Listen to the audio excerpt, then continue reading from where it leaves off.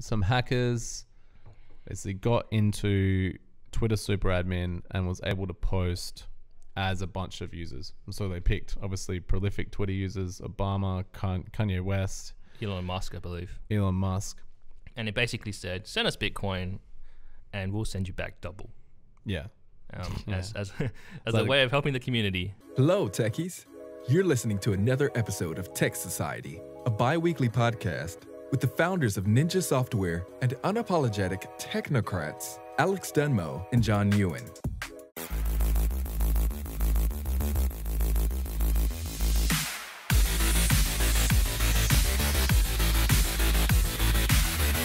Welcome to another episode of Tech Society. You're with your hosts, Alex Donmo, that's me, and John Ewan. All right, we are the founders of Ninja Software, and we started Tech Society basically to discuss issues we care about, interview people with burning platforms, you know, just give a bit of a voice to the technology side of what's going on in our society, uh, which is a pretty loose thing that we can make work in any way we want. That right? could be anything. Yeah, it's great. So we used to do these when we started. We did these episodes where you and I just had a chat about questions and things that are important to us. Bringing that back. Uh, we're bringing that back. So we're gonna call it. I was thinking, Tech Society's take. Take on things. Tech Society's take on things. Ooh, I like that. Tech Society's take on things. Yeah. Yes, that's what we're called now.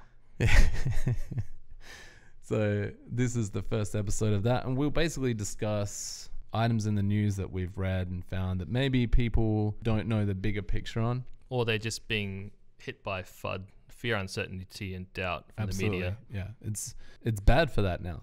I think Yeah. uh, our media, one, they don't understand technology. They don't give a shit either. Mm.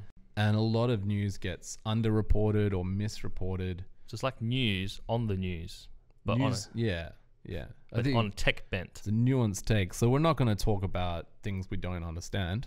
You know, we're not going to talk about um, cancer research. I have no medical degree, Me too. so it'll just be on on topics we understand.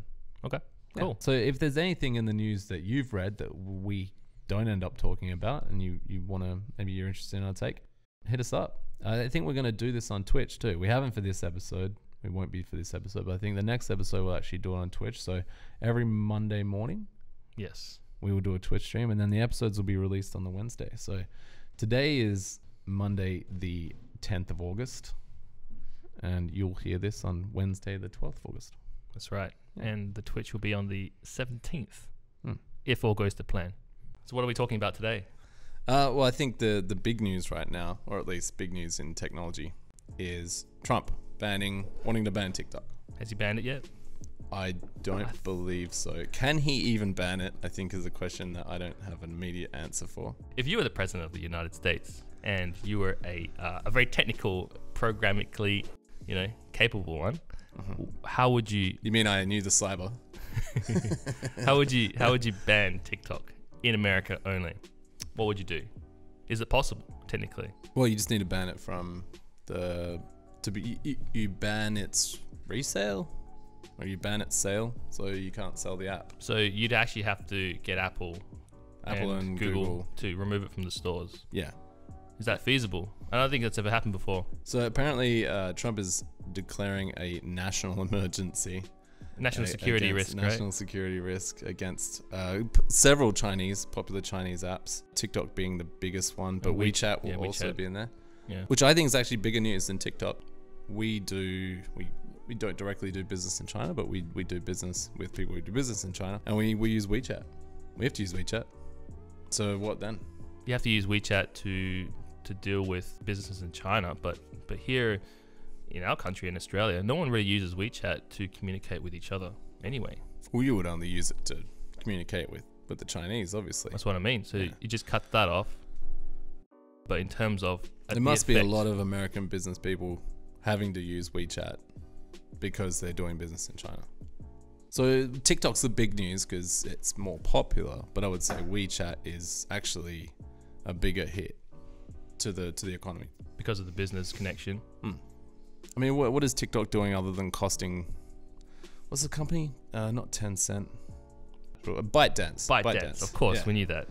All right, so Trump says TikTok, big emergency, they're, they're stealing everyone's data. They're giving it to the CCP. hmm But really, is he just annoyed that some teenagers on TikTok embarrassed him at his at his rally? Remember that? So uh, What's interesting is that there's a there's a there's an app in China called Douyin, which is TikTok version two, right? And it actually represents what TikTok is about to become. And, and it's a place for advertising, marketing, commerce. There's an actual there's an actual direct roadmap. Do you think that'd work in, in the West? I, I, I'm I'm doubtful. But I want to go back to Donald Trump being embarrassed at his uh, at his rally. You remember this? This was back. Feels like a lifetime ago. Oh, the K-pop fans. I, I, Yeah, I yeah. remember this. Yeah. Yeah, the the, They the bought all the tickets, right? yeah. So K-pop group.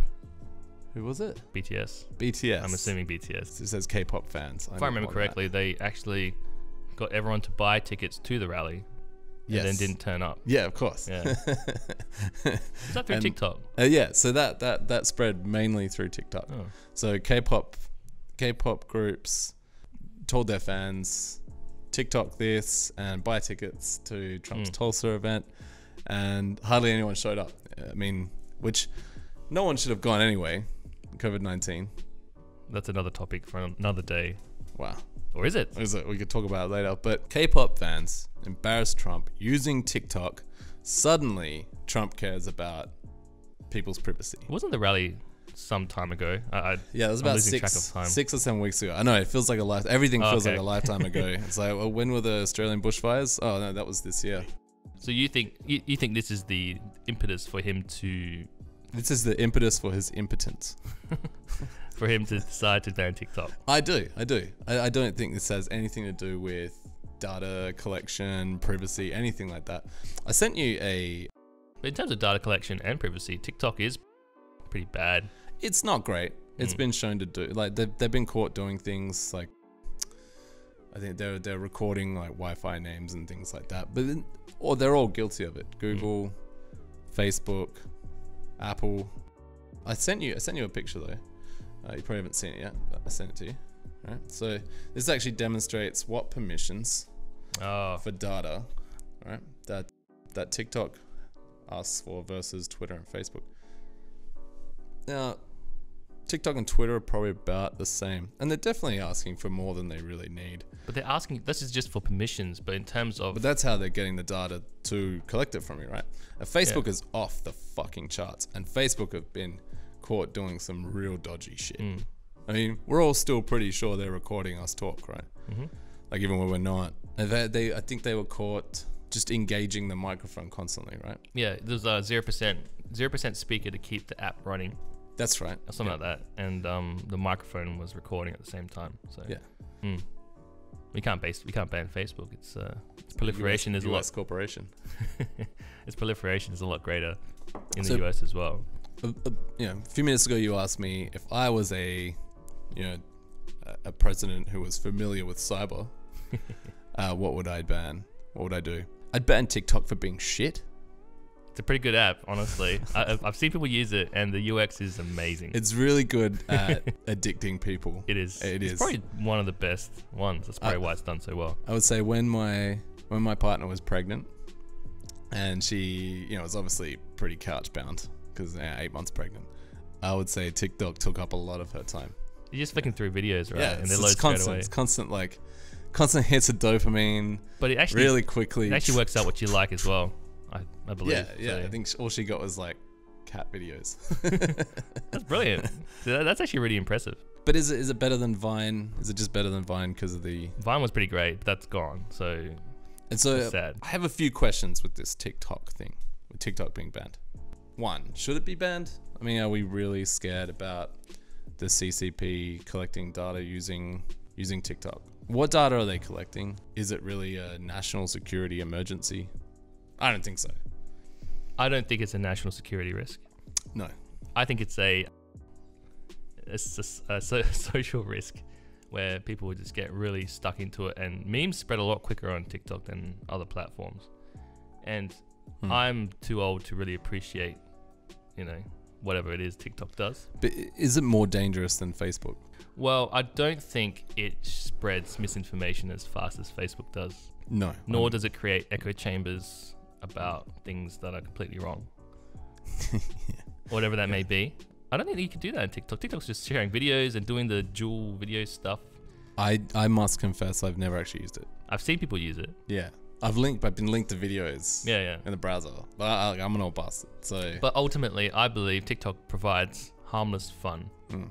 addictive, harmless fun, which is not as dangerous as whatever Facebook pushes. So, in complete contrast to what the president is saying, uh, the CIA have actually said that the CIA has found no evidence China's Chinese government has accessed TikTok data. So the CIA and the intelligence community claims no evidence Chinese intelligence services have ever accessed data from TikTok. All this this came out um, August 8th, so White House is pushing for it to be banned. The actual intelligence agency says not really concerned. And when you think about it, what data would the CCP even want that TikTok would be able to scrape? Like, what data is TikTok scraping? I guess um, who you're calling, who you're messaging, who you're connected with. Mm. Chinese government just has to use Facebook for that. They don't even have to grab that data illegally. It's already, it's freely available. Everyone's everyone's put all this data onto Facebook already. Who they're connected with, what they're what you know. But now you're talking about, okay, so we're talking about TikTok. What about WeChat? I see. I see no reason for WeChat to be banned. I think anyone who installs WeChat a has to jump through hoops to get working in the West anyway. Uh, you was it you have to have either a Chinese bank account or You needed someone to vouch someone for to vouch for you. Yeah, that was already a WeChat member who had a primary, who had a bank account in China. It was yeah. it's a lot it's of a it's a pain in the ass. So I mean, anyone who's installing WeChat has already made that conscious decision. Well, I'm I'm working with people in China, or, or I have friends in China, or uh, you know, I'm already I'm already invested in China, and I've already decided that yeah. I'm okay with this data being read.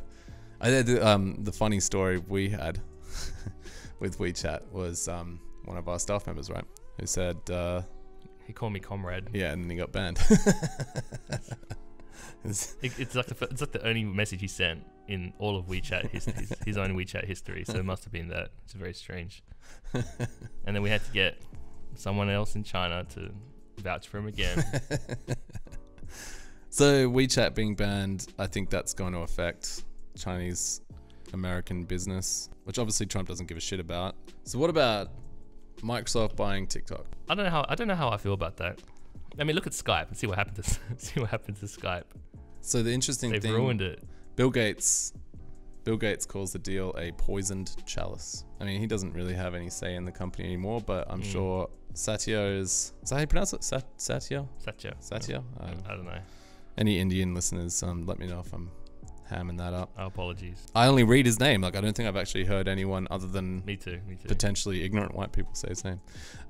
So, he, yeah, I'm sure he at least will listen to Gates. Gates says it's a poison chalice. Uh, Trump tried to block the deal. Well, that was his. I mean, he probably tweeted about it, of course. Try to block the Microsoft purchase. Of yes. I So thought, I thought he said he won't ban it if Microsoft purchases. no, no. So, so immediately, uh, Trump's like, I'm going to ban TikTok. Mm. Now, so TikTok's like, fuck, what do we do? Let's sell. Because, you know, I'm sure, I'm sure TikTok doesn't make any money anyway. I'm sure it's fucking, I'm sure they're bleeding money. Mm. So, sell to Microsoft. Microsoft are interested. Yeah, why wouldn't you? Sell it for a few billion dollars. I, I, I believe the, the founder is um, pretty eager for the deal to go through. He probably just wants out. So what's stopping them? Well, so Trump said he would block the deal. Oh, That was the first thing. Um, and then Microsoft went and talked to Trump, I believe. Pick up the phone and just the red phone. yeah.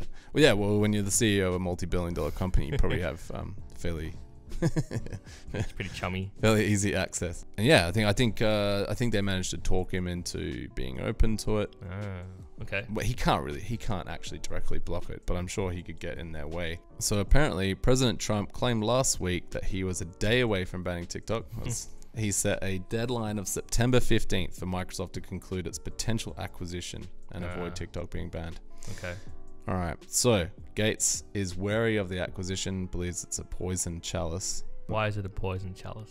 So the, okay. So the interesting thing is that Bill Gates says, you know, he's wary of them buying TikTok. He suggests that Facebook having more competition is probably a good thing, but that having Trump kill off the only competitor is pretty bizarre. So he makes a really strong point, and he, I believe, he's hinting at potentially that Trump is, you know, killing TikTok not because it's a national security risk like he's claiming, but because it's a Facebook competitor. Because Facebook has definitely helped Trump with his campaigning. I don't think I don't think there is a competitor to TikTok. I, I can't think of any. Oh no, competitor to Facebook. So TikTok is kind of like, yeah, okay, it's not, it's Like- not quite Facebook, but it's It's like definitely, Vines, Vines plus Twitter. it's definitely a competitor Yeah, to Facebook. I mean, it's, I would say, It's a social platform. It's social it's a media. social media platform. It has Yeah. comments, it has networks. It's definitely taking attention away from Instagram. hmm And if you take the youth away from Facebook, put them in TikTok, they're not Facebooking, which means they're not being exposed to all the alt right conspiracies and shit that permeate through Facebook. So I think Gates thinks that Trump is actually operating to defend Facebook. So he's not banning TikTok because of China. He's banning TikTok because he wants to protect Facebook and protect his you know, network of, of bullshit through Facebook. So it doesn't actually say that out loud anywhere. Yeah. Just it through the poison chalice term. Yeah, I don't. Gates would never come out swinging like that, but you know, he's um, expressing his views in a way that I think anyone with a bit of Caution, tact. insight, or just if you you know insight into into Gates' words, you'd be like, okay, he's um Mm. he's saying that they're not they're not trying to get rid of TikTok for the reasons they're claiming, and that's and I, I agree with that. But to, to sum up, to sum up how I feel about TikTok, I think Trump is banning it because he was embarrassed, and China is a great scapegoat. You know, he he, he bangs the drum against China. It's and true. He does project out. Mm. So that is uh, vengeance for to someone or something because of the rally, Hmm. the K-pop, the K-pop interjection of the rally, and now Microsoft and it's now you, you believe he's trying to protect Facebook, yeah, getting oh yeah, bringing yeah. it in. He knows that Facebook is pretty much the, well, it's the only social media network that hasn't shut down all of their ploys. Hmm. Twitter is constantly banning um, the bots that are propagating alt right conspiracies, but Facebook's doing fuck all about it. Okay. So, and and I would be surprised if Zuckerberg didn't have a fairly direct line to Trump. That's my conspiracy theory. that Zuckerberg is It makes sense. It makes a lot more sense than national security anyway. That's right. And then you have what's the word I'm looking for? So like fairly popular Democratic um, politicians coming out saying that you know Facebook needs to be broken up or regulated. I think um, Elizabeth Warren was big on that. Hmm. Uh, obviously, she's not going to be president, but that idea is obviously living in the Democratic Party, Hmm. uh, whereas the Republicans are definitely using Facebook to spread the- Opinions. yeah, the, it's it's the it's it's the network where they basically turn your drunk uncle into a foaming at the mouth racist, and that's all I have to say about that. so, so yeah, well, okay, All right. So let's conclude. yeah. Sum up my feeling: TikTok doesn't deserve to be banned. I agree. It does need to be probably investigated, for but but but so does Facebook and Twitter and, and a bunch of other apps. In fact, there should be like a, a, a security audit done on all these apps, I believe. But Facebook deserves the most attention on that one. Do I like TikTok? No, I fucking hate TikTok. so like, I wouldn't actually be upset if it got banned. I think it's an unproductive way to use your time. You know, like YouTube's full of bullshit, but at least you go on YouTube, you can learn how to change oil in your car. Yeah, like Twi- uh, TikTok is not about that. TikTok is about just fast food into your brain. Hmm. You know, here's a picture, here's a video of a cat, here's a video of a guy miming. Here's you know, like like constant attention deficit disorder. Yep. Bang, bang, bang. So that, I would be actually fairly happy if it got banned. Apart from the fact that it's it's bullshit. It shouldn't be banned. Yep. It's the Um, principle. Now, should It Microsoft has, it has the right to exist. Should Microsoft buy TikTok? I don't know what they'd get from it. Hmm. Yeah, I I don't believe it makes any money. I think it adds to their portfolio though. Yeah, but they keep trying to add stuff to their portfolio and they keep fucking it up. So Skype. Skype. It was amazing. Well, how do you think this will turn out? we've got September 15th. Is that right? I don't. Make your predictions now, then we can revisit in a few weeks. Okay, that's tough. That's really tough. I don't think. I don't think it'll get banned because I think that requires a bit too much follow through and I agree. um, and like Trump can't do it on his own, so he has to work with other people to make it happen. And Mm. I, I don't think he has the the will or the capital. Uh, will Microsoft buy? I think Microsoft will buy TikTok. And I, I think I reckon they were already having talks, and I think I reckon the founder of TikTok probably wants out. Well, why why wouldn't he, right? Like, I think I think everything will stay the same the way it is right now in a, in a month. ah, that's a safe bet. That's a Because- safe bet. because- oh, in, a, in a month, yeah, you're probably right. Well, it's Sep- right. yeah, September Yeah, 15th. okay. Right. So But I think that the deal will still be going on. yeah, there's al- there's always going to be talks, but there will be other parties involved, namely the CCP, and they Yeah. will prevent things that are not in their interest, which involves which includes Microsoft purchase Microsoft's purchase of TikTok. So Oh, but um, Microsoft will be buying the US operations of TikTok, so they can't stop that. mm, They can't stop that. And and the Chinese TikTok, which I, uh, um, Douyin, yeah. yeah, will continue. And and is it is it actually important to the CCP? I doubt it. I I- doubt it. I think they've got so many. They've got so many sleeper apps out there. Like Tencent. Look at Tencent. Everything Tencent owns Mm. is potentially a, a data stream. Maybe. I mean, I, I don't want to start these conspiracy theories. But yeah, I, I think the deal will continue on. I think Microsoft will eventually buy TikTok, and hopefully Trump will be voted out of office. That's in November. Yeah. So we'll return to that in November. All right. So what else is in the news? Before we continue this podcast, here's a message from our sponsor. We believe that you can create art and beauty with technology. We think big. We move quietly. We are Ninja Software.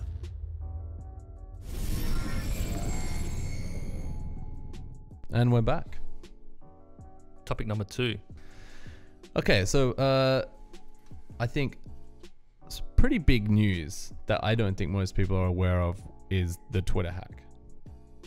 The Twitter. The. Twitter, I would call it the Twitter hack. I think I, I I don't remember any other big Twitter hack. You know, it's, it's a pretty big one last month. Last month? It says here, um, this article was posted first of August, so what would have happened in July, which is kind of weird. That was like three weeks ago at the time of recording, where a lot of prolific people tried to request Bitcoin from their followers, Yeah, including Barack Obama. Yeah, pretty- pretty uh, big Elon accounts. Musk. Funnily enough, not ones that are in like triple security lockdown, like President Trump. Yeah, interesting. Yeah, which makes me think. I, uh, we'll get we'll get back to this. Okay, so so the story is some hackers basically got into Twitter super admin and was able to post as a bunch of users. And so they picked obviously prolific Twitter users: Obama, Kanye West, Elon Musk, I believe. Elon Musk. And it basically said, send us Bitcoin and we'll send you back double. Yeah, Um, Yeah. As, as, as Like- a way of helping the community. the, the the classic. You remember the Bill Gates spam emails you would get? He's like, you know, if you send if you send ten dollars here, I'll send you a million dollars. Okay. Explain to me, how did these guys get into Twitter and and pull off this this scam? As always, it seems to be the weakest link in the chain Mm-hmm. humans. A bunch of social engineering. And I, I think Twitter actually runs uh, all the operations through Slack. Yes. So it's just a matter of getting access to that. So Slack is a chat tool. People use it in operations. Yeah, it- programmers um, use it a lot for just communicating and integrating with their services as well. I so a, lot of remote workers use it. Yeah, Like, yeah. So I'm guessing Twitter uses it for everything. And somehow, this guy, Mr. Clark, 17 year old from city of Tampa, Yep. 30 felony charges, and he he got access to the Slack somehow. I don't think they really disclosed that. And then there was a He may have just signed up. He may have No found way, their man. No way. uh, maybe they've got like a you know hidden Slack URL, and sometimes you can just register, right? okay. Like if you're a paid account. Well, he got access to the Slack, and from there he got credentials for Twitter support. Now, I read they were pinned to the support channel, the super user login, right? So for anyone listening who doesn't understand what that is, a super user is a administrative account where you can essentially do Everything. everything. Yeah. Mm. Including impersonate users, which Yeah. Now, is what happened here. I have several problems with this, but I think the the the first step is knowing that it was a two-factor authentication. They did have two-factor authentication, so that wasn't where the hack ended, right? Yeah. He had to then. So you, so you got the, so the in the pinned message in Slack, there's a Yeah. username and password. Yep. You sign in as that, but it will send uh, typically an SMS to your phone for a, an additional code to to sign in. which is weird. There's a shared account. It makes me wonder. Maybe they're using an authenticator type app, Mm. more likely. Yeah. And then they did a phone spear phishing attack on Twitter No, I think a bunch of employees. Twitter employees, right? Yeah. Social engineering. So social engineering is, I mean, most hacks I think are social engineering. It's the easiest way to get things done. Yeah. So everyone's worried about the hacker in the basement. You know, Chi- uh, the Chinese or the Russians or the Vietnamese or the communist parties trying to. Mr. Robot style. Yeah, yeah. Like, you know, Linux console hacking everyone. uh, but more likely, someone calls someone on the phone and scams them out of their password. Yep. I think I think the most successful penetration uh, strategy is actually the old USB in a confidential envelope dropped in the toilets. Well, this is basically a similar thing where, Right. again, the humans somehow passed on their uh, two-factor codes to Yeah. this 17-year-old boy. So to anyone listening, never tell anyone a security code ever. Mm. There's never any. No one will ever call you on the phone and say, "Hey, I've just sent you a code to verify you. Tell me what the code is." Never. so, just don't do it. If you get a text message saying security code blah, and you're talking to someone on the phone and they ask you for it, you do not ever give them it. So someone did, Someone and did. he had the username, password, and the two-factor code, and then he got access to Twitter support, super admin, actually. So they targeted 130 accounts, managing to tweet from 45 of them. Uh, they accessed the direct message inboxes as well and downloaded a lot of data. Be Mhm. pretty interesting data, I gotta say. And then yeah, they basically tried this, tried this this Bitcoin scam. So I am giving back to my community due to COVID 19. All Bitcoin sent to my address below will be sent back doubled. If you send thousand dollars, I will send back two thousand dollars. From Barack Obama himself. And then they put the code. Only doing this for the next 30 minutes. Enjoy. Apparently, they made $100,000 out of Yeah, this. 117, 117,000 dollars. It was actually not in that 30 much. Anything minutes. about it. I I, I bet went. I'm gonna Well, my this. first question is anyone who owns Bitcoin should already be wary of any kind of scam. That is the. I'm so surprised that yeah. my Bitcoin brothers would do this. It's so strange. but I guess you get a tweet from Barack Obama, and you're like, oh shit, is this real? I'd be like, why is Barack Obama asking for Bitcoin? It's so strange. Uh, yeah. yeah, Why why does he need me to send him money before he'll send me money? Like, yeah. It, It's it doesn't make sense. this kind of critical thinking should uh, the critical thinking to know that this is a scam should be painfully clear to anyone who's been in Bitcoin for a while, and people who are in people who own any Bitcoin should have already jumped all the hoops needed to to be clear of any scams. Anyway, they should But- have the ability to detect this kind of stuff. But you've got services like Coinbase that uh, have made it fairly easy for the average person, especially the average American, That's true. to that's jump on true. these platforms. So Coinbase is a a website, a web app Hmm. that you can log into and just buy, sell, transfer bitcoins and other cryptocurrencies And- from the app. And actually, Coinbase are what limited the damage of the scam because they blocked transactions on their network to that Bitcoin address. So that's the power of uh, a centralized service. And they are they're definitely, correct me if I'm wrong, but they are the biggest. they're pretty big. I don't know if they're the biggest, but um, in, in the US, they're probably one of the biggest. Yeah. Biggest blockchain marketplaces, right? Mm. Okay, so now these guys got caught really fucking quickly. Really fucking especially quickly. especially for a um, government agent investigation level quick. Turns out the way they were caught was they had used the same Bitcoin address for legitimate transactions on a is, right, that- marketplace forum. That thing you have there, which is the, the Bitcoin address, Yeah. it's always unique and it's always Googleable, But right? So you can just search that and you actually find out everywhere it pops up on the internet. yeah, so the FBI Googled the address and found they'd used it on a forum called OG Users. Now, uh, I'm not familiar with OG Users, but according to Google, it's a community driven digital marketplace. So, So they must have had an account on there that accepts payment in that address. now, when these guys had used this, they did not use a VPN. Mm. So when the FBI requested the a copy of the the forum database, they had IP address, they had email addresses, all pointing to the real people. So these hackers, not that smart. Obviously smart enough to perform this hack, but not smart enough to cover their traces in a real simple way, because you can just create a Bitcoin address, right? Yeah, so a, a Bitcoin wallet has unlimited addresses you can generate from it. There's multiple addresses in a single wallet, and it's discouraged to use a, one address. So that's probably confusing for our listeners who don't All right, okay. So, understand Bitcoin. so let's just say that a Bitcoin, everyone has a Bitcoin, well, everyone, people that are in Bitcoin have a wallet. Yes. Right? Now, And what what is a wallet? a wallet is a collection of addresses, right? And and you can generate new addresses easy peasy. And an address in a Bitcoin wallet is like an account in your bank. Can you connect an address to a wallet? No, I mean only if you use it more than once. If you if you post the address more than once, like on here, you will be able to you'll be, you'll be able to connect using you know basic forensics. You can connect the people with other platforms and then Mhm. do what do what they did here. But if I stay anonymous the entire time using these Bitcoin addresses, then it's going to be harder for them to track me, right? Yeah, so Bitcoin is pseudonymous, not anonymous. Yeah. So there's Can you explain?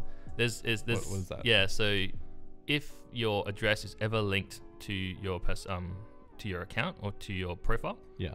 it's linked forever. It's not anonymous. It just has a pseudonym, basically. Essentially, there's an open transaction history, right? So you once you put money in, once you take money out, like that's all traceable. You Yes, can't move but- any money around Bitcoin without it being publicly accessible that that transaction happened, right? Yes, but your multiple addresses in your wallet are not linked in any way. It looks like No. different people. Okay. So what they should have done is have that address on Twitter and never use it ever again. It should have just been used for the scam, right? right, and just generate another address and use it for this marketplace. yeah. Now, uh, how would they get their money out? From okay, so they would transfer it to another address. Mhm. That is public, but you don't actually know who owns that destination address in the end. You know. So, so like, so Barack Obama, the the real Barack Obama, uh, has requested bitcoins to this address. You receive the bitcoins in that address, and you pass it on to another address, which you also own, but no one knows that because you generated a new one. But then you can still track that. So how do you get to the point where? Because, I mean, I'm How sure. do you how do you anonymize it, right? yeah. Yeah. Um, so there's there's services called mixers or Mhm. tumblers, and they're basically a service that you send Bitcoin in. It, it spreads it out, mixes it all over the place to all these other people, and comes back to you. Now, but using using good enough forensic tools, you'll probably be able to track that transaction, right? So that's something I have been working on in the past, where my assumption was if you ever send uh, a whole number Mhm. of Bitcoin to someone, because that that's probably you or someone that you know. So there's actually ways to connect addresses together, but it's all like inference. Yeah. It's not. It's not uh, unless unless you actually publicize the public key. So, would do you believe that, let's say, government agencies are tracking all the Bitcoin transactions and using tools to try and map transactions going through these tumblers? And second question, addendum question. Would you be concerned if you were the scammer or let's say drug dealer or something that these tumblers were actually honeypots for the government agencies? That's a real risk, and I've never used a mixer or a tumbler Hmm. because I don't control that. But the problem is for the tumblers to work, you do need a large amount of traffic into that tumbler, right? That's right. It's like if you're the only user, then it's That's- easily That's correct. That's Yeah. correct. So usually, what you'd have to do, not that I condone any black market stuff, is is to work off grid. So you'd have to meet someone, exchange hands face to face, and just convert cash. But then your blockchain, your Bitcoin transactions are still trackable to them though, so they need a way to move that money. That's, And their, if that's their problem, though. Yeah. Okay. So, so Bitcoin is not anonymous. It's a public ledger. That's right. right? It doesn't change the fact that everyone sees where everything's going. You just don't know who owns what address. Okay, so right away we can say that these guys probably didn't understand Bitcoin very well, Perhaps. perhaps. and there was a lot of smartasses responding to the scam tweets Yep. with "You should have used Monero," right? That's right. Everyone says that. All right, what is Monero? Monero is the non-pseudonymous parts it's fully anonymous. Fully anonymous. However, it's just not being used as much. People use Bitcoin because it's what people pay for. There's demand for it. There's no demand for Monero. You can move stuff into Monero and then back into Bitcoin, right? Yes. So you'd use a decentralized exchange, a DEX, and then you can convert Bitcoin to Monero. Does Coinbase Uh, Monero? Not sure my um my transaction. I, never, I haven't transacted in Coinbase before, but I would. So yeah, if, if someone converted to Monero, then found a buyer for Monero, then they're pretty good, right? Mm. But where would you find a buyer for Monero? That's that's the that's the last bit of the chain that that people don't really think about is that there's no demand for it in in the market. Yeah. Mm. It's pretty clear that to me it's it's pretty clear that they didn't really understand well just how anonymity works in in a in a holistic sense anyway. Uh, a network can be anonymous. Reddit technically can be anonymous, right? Uh, but as soon as you As soon as you make posts, yeah, as soon as Uh, you link it to yourself and There's there's a great service, great services on online that digs through your post history and just tells you everything about you. yeah, it tries to make assumptions. It's and- scarily yeah. accurate. you know, And- you knew where I live, how big my family was, just from posts I made over you know ten years. And and these guys protected their obviously protected their identity when they were like uh, hacking into Twitter. You know, they obviously used services to anonymize themselves there, but then didn't do it on the on the marketplace, the They just- legitimate marketplace. They reused an address. Yeah. That, that's that's what linked then- everything together. but they obviously um, didn't use a VPN. Mm. They, they by the articles it seems like they used legitimate email addresses too. You know, like they they connected their illegal life with their real life, Mm. and This is what happened with got um, super quick. um Silk Road as well. Yeah. So actually, a lot of people don't realize how he was found out. He used a, he reused an email asking for support. Yeah. Yeah. He was on uh, Stack Overflow and he asked for support on basically creating a server on That's right. on, on Tor on the on the darknet. Yeah. Yeah. So yeah, he got caught the same way. Yeah. Fully had this idea to create uh, a, an illegal operation, and didn't protect himself the whole way through. I think the problem is it used it started off as a hobby project, and at Mm. some point it turned into this thing that needed to be extremely private. Yeah. know? and he didn't he didn't click over until too late. He probably he's probably switched to a private email at some point and private everything at some point, VPNs and stuff. But too late. The information was already out there. Yeah. That's right. Yeah. And so it- you need just- to basically change your identity as soon as you decide to do it for real. It, w- it wasn't enough to convict him, Mm. but it was enough to To cast find him. suspicion on him. And then they just watched him. They watched him to the point where they knew his schedule. And then I think the, the, the real, like where they got him, was they waited for him to log in to all this stuff in a library, right? Yeah, that's right. FBI swooped, grabbed him before he could lock his computer, and bam, he's fucked. like, I think he's gone to prison for a billion years. Yeah. Like, yeah. Give or take a thousand. Yeah, I mean, he he made some really crucial mistakes that I I can't sympathize with him. Well, in hindsight, you can say that, but if if you were there creating a, a totally illegal marketplace, I would be so fucking careful.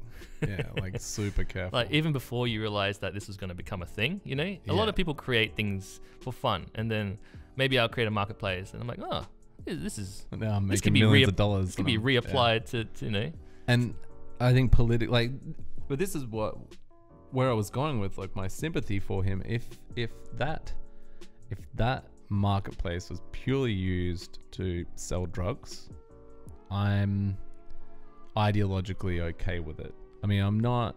I don't think it's the correct solution for um, you know the the trading of pharmaceuticals, but I don't believe that they should be illegal. I Mm. think they should be regulated and controlled. You know, like like what America is doing with with marijuana right now. I think that's, you know, that's the way things should go with pretty much all um, recreational drugs. Mhm. So if he was just facilitating that, and and there's no doubt that online trading of drugs has made drug deals safer. You know, there's probably less violence. There's there's more. Um, funnily enough, there's more accountability uh, for the quality of drugs. Yeah. Yeah, because they're reviewing each other, right? It's like Uber. It's like, oh, you know, he's, he sent me rat poison. You know, I almost died. You know, one star. Yeah. Um, if that was it, if that's all he'd done, I'd be like, you know, that guy is a libertarian hero. Yeah. Except he tried to have people killed. They traded firearm, illegal firearms, and and actually um, they had like assassination services on, on, on the marketplace. Like he went he grew out of scope. It, was, Yeah. it started off as a He- nice. He went through that gray zone. The problem is when you have when you have an ideological when you're an ideological libertarian and you're like all these things should be open market. Eventually you get to the point where you need to censor because it, starts to go into zones that you know like pedophilia. I think there was there was child porn on there. Uh, there's tons of shit that you know it's just bad news, Mm. right? It doesn't matter what your ideology is, but when you're like, oh, I don't censor, then you start to see what the world has to offer. yeah, Anyway, so I still believe that it was a spectrum of like hobby turning into a real project. and and you and realizing that the bit where it flips over is very hard when you're the one building it yeah, because you're, like- you're like messing around coding at night and, you know "Oh, this is pretty cool fun project. Yeah. yeah. I'm gonna build a marketplace and it's gonna be anonymous. yeah You know, it's back to these twitter guys though mm. they w- they knew what they were doing right from the start oh yeah. but and then they actually did they did a good job the only problem was the Well, they had Twitter very yeah that was that was a concerted direct effort and effective and it worked and they got in right Yeah. which is really cool for them um at the time not anymore Mm-hmm. Uh, but it was the just that the copy the a Bitcoin address is a unique token on the entire internet. yeah, They and they didn't reused it. they didn't realize that as soon as you use it twice, it's actually, it's actually common no- uh, not common knowledge. It's best practice to regenerate accounts whenever you receive crypto in, a, in an address. You Yeah. re, you never use it ever again. For this specific purpose, actually, it's in, the, it's in the white paper as well. And a lot of wallets discourage it. So um, if you use an address, it actually grays it out and disables the address. Really? Mm. Because people don't realize the implications of reusing an address. Hmm. Um, I, in, in, early in my crypto journey, I did reuse addresses as well. So what are the implications for reusing addresses? It means that someone can just search the address and see it all over the internet every single time you've used it because Google indexes bloody everything So then they can start creating a profile for what you're easily. what you're doing with your money, and Yeah, and, and, then, and that might be the ATO or the IRS. that's right. And and you can see who you sent it to. Not that we condone uh, tax avoidance. No, it's highly illegal and, and not encouraged by us at all. No, no. but uh, so I, I did use because there's these um I had addresses that I reused early in the day. Mm. Um, I'm a long time crypto user, and it was, you know, it's and you're, you're pretty like it's pretty easy to find you on the internet. yes. Um, I just I Google your no, username don't tell- and you're like don't tell anyone. Uh, You don't want everyone to know. no. And, Like, there's your Twitch account. Yes. Uh, you're you're everywhere. I am everywhere. I've I've become that that username needs to change. At the same time, like at least there is a way to find you on the internet. Because if I Google John Ewan, like I, I I have a very common first name, and I also have a very common surname. So Yeah. I'm, Yeah. I'm in a deep dark pool Yeah. of John yeah. But Um, yeah, so yeah, crypto addresses are pretty unique. You know, So if I if I Google your username that you've had since you were a teenager, Mm. right, and then I find one of these wallet addresses, Yep. and I start googling that, like I can start creating a picture on you and even if maybe you, you, don't want me to know, you know, like that. even if I didn't, even if I didn't reuse my address, yeah, and you went into the blockchain and looked at all the transactions I made with that address, you can search all those addresses I've sent to Mm. and see who they are. start creating a profile. Maybe some of those are public addresses for services. A lot of them are. There might be an exchange. It might Hmm. be Coinbase. It might be um, Mount Gox back in the day. Yeah. Or And- maybe you paid for some like weird porn thing you don't want anyone else to know you about. know, like- yeah, that kind of uh, hypothetical stuff. yeah, totally hypothetical. So that's that's the risk, and and the it's just that as soon as you use an address, people will find it because Google will find it, Yep. and that's just a fact. And that's just what people need to be aware of when it Well, comes to and- Bitcoin. And Google's one thing. I'm sure the government is at least tracking this data. It's easy. It must be. It's Yeah, easy. It's You all just- open. It's all public. As soon as you connect your Bitcoin client, you actually synchronize the entire blockchain and all its history into your PC. Hmm. Because it's on your PC locally, you can actually um, you can actually search through it super easy. Yeah. It, it's a it's a ledger. It's like really well. It's a very well organized, clean data ledger. My biggest issue with these guys is they performed this fairly like com- complex hack. Like you know, they put a lot of effort into it, Mm. right? And it was just to scam people out of money, and that bothers me. I you know, like They did say it was a charity hack, and they will use it for a good cause later. That's what that they said. bullshit, bullshit. but the you mean you go back in time, right? And the, the early hackers, even the ones that caused quite a lot of disruption, it was it was often to it was often just out of kind of curiosity and you know maybe a rebellious spirit, and you know they would deface things, and It was never. there was that like hacker culture. I don't condone any. it was more of, a, more of a prank than a than anything else. so- yeah, this this just feels like crime. it's just crime, you know, like yeah.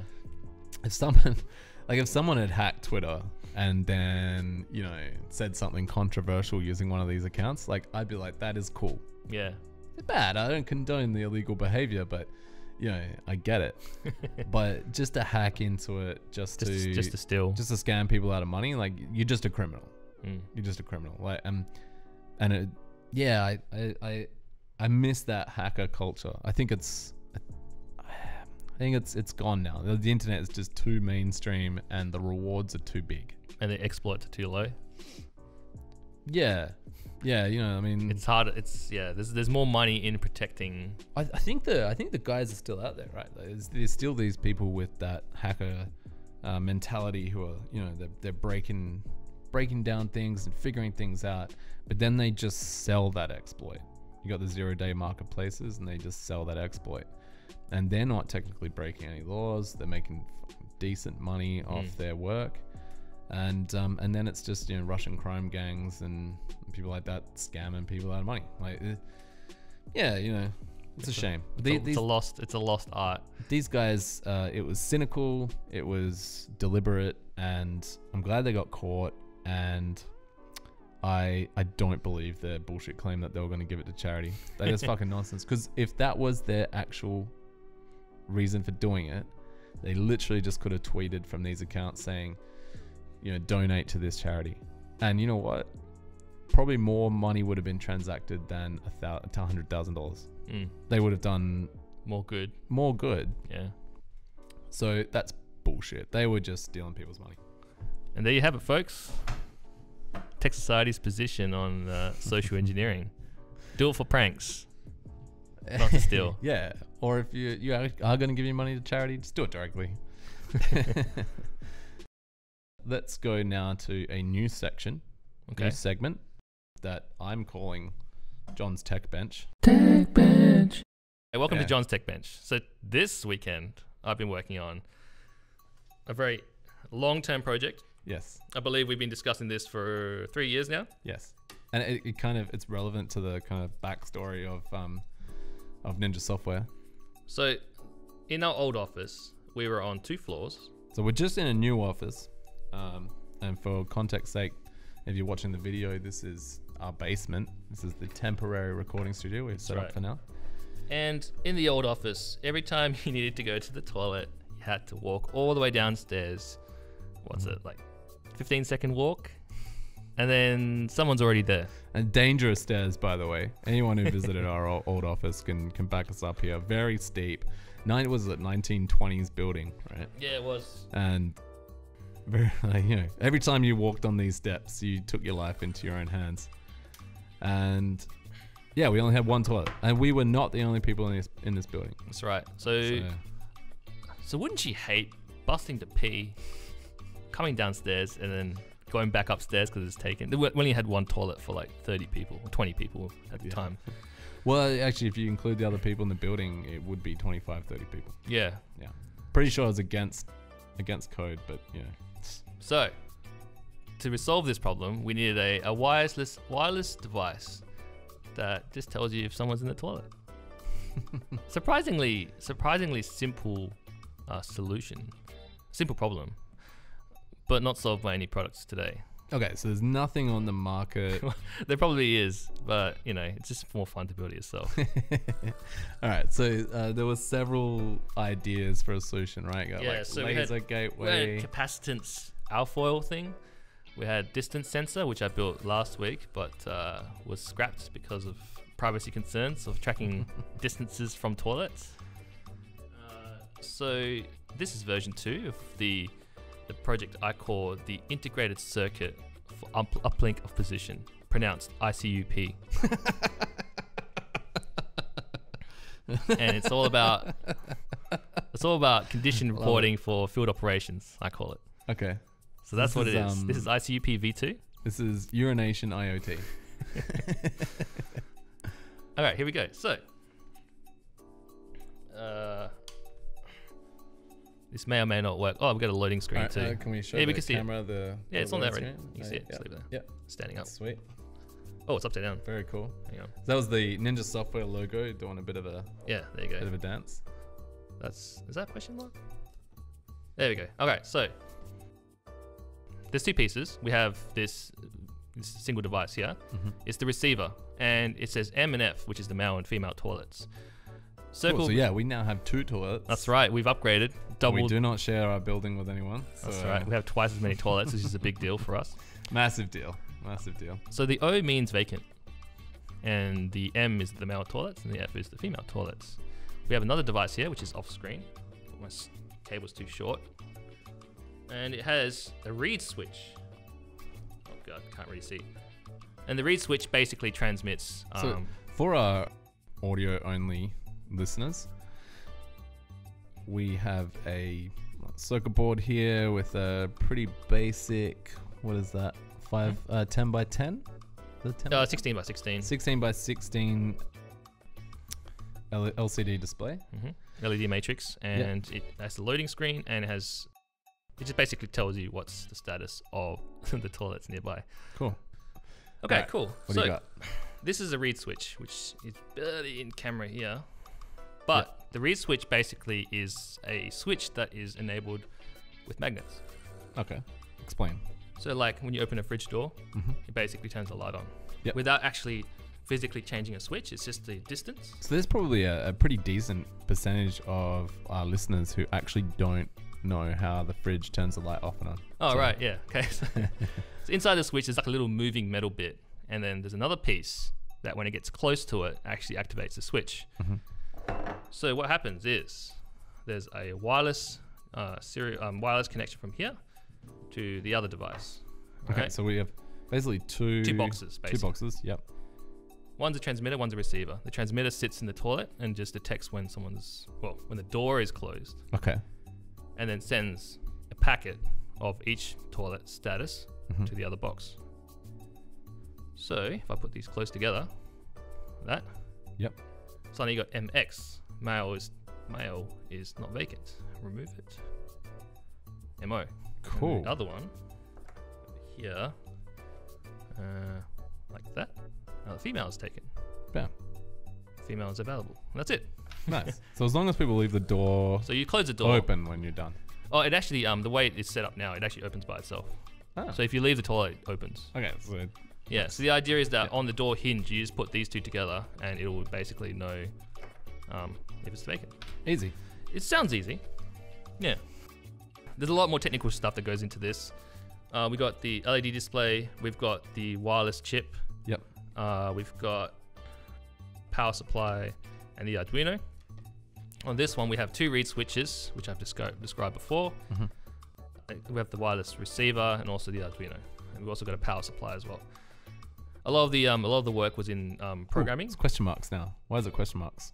Okay, Oh. so uh, for our listeners, the LCD display has now put male and female as question marks. Yes, so it's because it's lost connection somehow. Ah, okay. Yeah, don't know why. Something went loose. So when you install Oh, there this. Oh, it's short. It's the um, the LED display is shorting it's the pins on the back of it shorting itself. So Oh. you now, now I can see it. So when you set this up, we'll connect this to our company chatbot, who'll actually just tell us when. Yeah, unless people are a bit uh, self-conscious about declaring whether or not they're in the toilet. So it's, it's But you'd want to know the status of the toilet, and you will actually, if you were self-conscious, you would want everyone to know that you're in the toilet because they yeah. come in. that's right. Yeah. But it's actually uh, it was a fun project. Uh, I built it in about a day, um, and it's it's it's the hard the hardest part was actually uh, the sending the data from one to the other. Mhm. Uh, I think you find a lot of people don't realize this, but wireless transmissions are very lossy. Mm. So uh, it sends one character at a time. So, but the actual packet is like six characters. It's like toilet one, available, toilet two, you know? Yep. So you need to introduce, it's getting a bit deeper into technical, a, bit, a deeper technical dive. Uh, you actually need to have start markers and end markers, which are angle brackets. Mm-hmm. You need another character that declares the length of the packet, and you need the receiver to just listen and store into a buffer the full packet and then decode it. But it works really well, and we're going to install it today and see how we go. That'll be fun. Uh, do we have the chatbot side done yet, or we'll have to implement that? So Arduinos do not connect to Wi-Fi. Okay. Um, they're uh, what about this unit here? also also Arduino. So these Ah. are these are just embedded systems. They don't have any operating system. Okay. It's a real-time OS. mhm. So we'd have to connect it to a gateway of some sort, probably a Raspberry Pi, which can receive, uh, which can connect to this wireless chip and also receive serial communications. So that's a third device, third box I have to build. And then from there, it's just a matter of building more things. Maybe uh, door opening, closing for the office, uh, temperature sensors, noise sensors. We start to build a little cluster of, uh, you know, IoT, IoT devices. sensors. That's right. Cool. So yeah, Alright. that's John's Tech Bench number one. Thank you for listening. There's more to come. I've been Yeah. building lots and lots of crazy things. All right. I look forward to the next episode. or the, the next, the next John's Tech Bench. Oh, okay, cool. I think that pretty much covers everything we wanted to talk about for this week. I'm sure Trump will do some random shit that will invalidate stuff. everything we've already talked about. That's right. I can't wait. So we'll uh, we'll return with the next episode and talk about that. Yeah. So if you're interested in anything that's happened in the news, especially with a technology bent or even just business, uh, jump on the Twitch stream, which will be in the description, Maybe. maybe. And send us your questions or email us your questions through the contact form. through the, yeah jump on the jump on the website. Make sure you're on our on our newsletter. And and maybe tweet us at tech society. And the website is techsociety.fm. that's right. All right. Thanks everyone. Have a great rest of the week. Hump day. Bye.